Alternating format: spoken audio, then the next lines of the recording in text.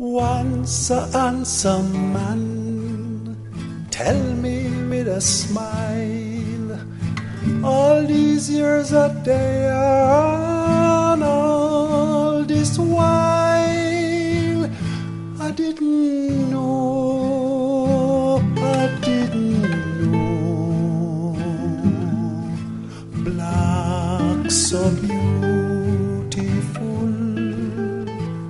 Professor Barry Chevannes was one of modern-day Jamaica's most eclectic, erudite, passionate and accredited scholars, and yet he was a humble intellectual and caring individual.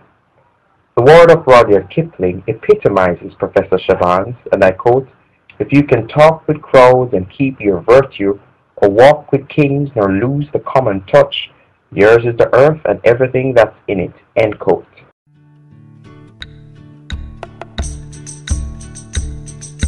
On the mango tree, I lie down out of sun, and before I could have fall asleep, a sun come out of ground. Easy hands them a walk, and the hands them a talk. Mercy, mercy, mercy, life bitter, not a mercy. Give we little minty, give we fever grass.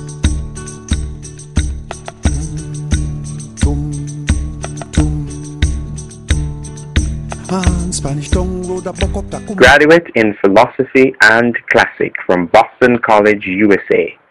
Master's degree of Science in Sociology from the University of the West Indies. PhD in Anthropology from Columbia University, USA. Professor Chevannes had directed his skills at researching aspects of Caribbean culture and identity to such topics as the family and sexual relationships, male gender issues, crime and violence, social integration, indigenous religious manifestations such as revivalism and Rastafari, and also socio-political movements and Garveyism. there had always been a, a stream among the people of uh, memory. Uh, we had not completely forgotten Africa.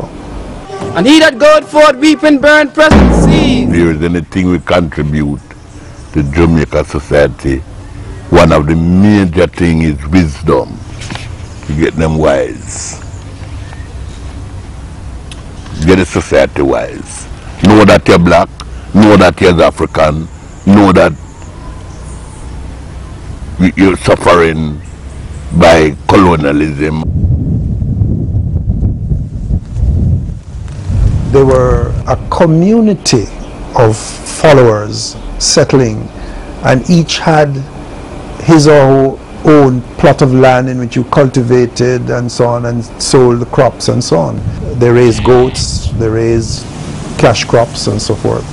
But Howell made a point of using ganja as a cash crop, which used to be sold in the marketplace in Kingston. It was at the time, although it was proscribed from 1925, it was never really prosecuted so that it was possible to find ganja sold openly. As a scholar, his findings on the legacy of a slave past has informed our understanding of the underlying reasons for the many fundamental social problems in present-day Jamaica and Caribbean societies. His work points directly to solutions we must apply to the black self-identity problem which has manifested itself into a dysfunctional society with problems of absent mothers and their fathers, high level of lawlessness, widespread promiscuity, disrespectful social relationships, and environmentally destructive behaviors. What we sow and what we reap. The topic explored by distinguished anthropologist Dr. Barry Chevannes at the 11th annual Grace Kennedy Foundation lecture held at Le Meridien, Jamaica Pegasus in March 1999. What is wrong with our males? This is a question on the lips of an increasing number of Jamaicans. The sight of idle males, idle males, young and strong, on the street corner, the daily news of the brutal, senseless murders they commit, their virtual dereliction of higher education, their cruelty to women, their display of a value system alien to the one most of us know, all these and many more examples of behaviors that most of us fail to understand prompt the question. In this lecture, as the title suggests, I will argue that it is we ourselves who ask the question who have contributed to whatever it is our males have become or are becoming. Every murder um, creates such pain and, and, and, and deep hurt among the many people who are affected. And, you know, it is just that we have to work harder. We just can't give up hope, you know, that one day um, people will see that it doesn't, it doesn't make sense to settle disputes through this kind of violence, lethal violence. We need to talk it out. You know, there's a better way. It's a win-win way. Professor Barry Chevannes served as chairman of the Institute of Jamaica from 1997 till November 2010.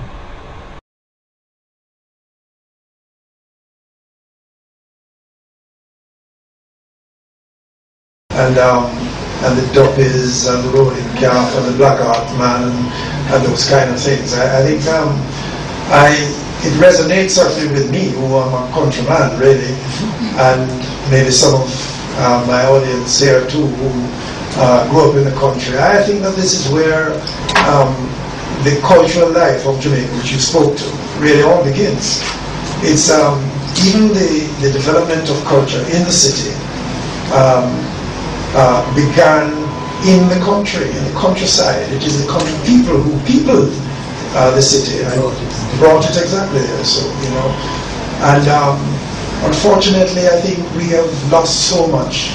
Um, I when you visit the countryside now and see how ravished um, the countryside is, nobody farms anymore. Um, there is a, a, fracturing of community and a sense of community and all of that. And uh, I think we have suffered, and the country, um, to its peril, um, pays in attention to the country, the countryside. Thank you very much, Mr. Seaga. Thank you to thank you for this wonderful opportunity. Um, had I not been here, Clover Johnston would be the one who would be reporting to the Council of the Institute that there was a launch of a digitization project and it was a success. And um, the members of council, like myself, would say, yeah, yeah, uh, it was successful.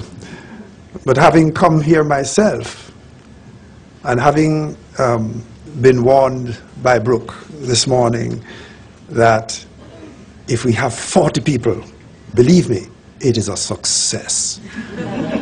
well, we catered, and she's told me that she catered for 50 people, just in case. Well, the last time I counted, I, there were over 60 people here. now, you have to call this a superlative success. And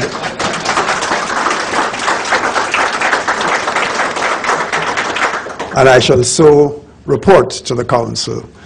Um, and I will back Clover when she reports to council that yes, it was indeed an extraordinary success. And let me really thank you. Let me thank, on behalf of the Institute, the deep, let me express the deep appreciation to Brooke and her team at the FIU for initiating and coordinating this important project and extending to us this warm invitation to participate in this launch. What the digitization of the journal will mean for us is, in, in, a, in a real true way, a delocking of the journal from its imprisonment in time and space, you know, and releasing it to a readership and a research community that has the potential to be as wide as cyberspace itself. Spirit of God,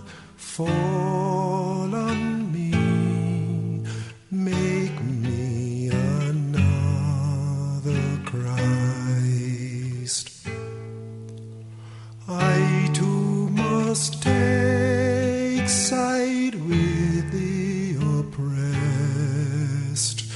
I too be cool.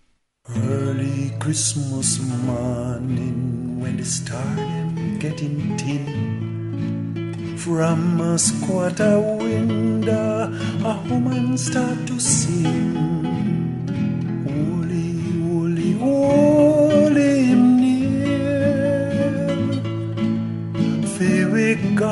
God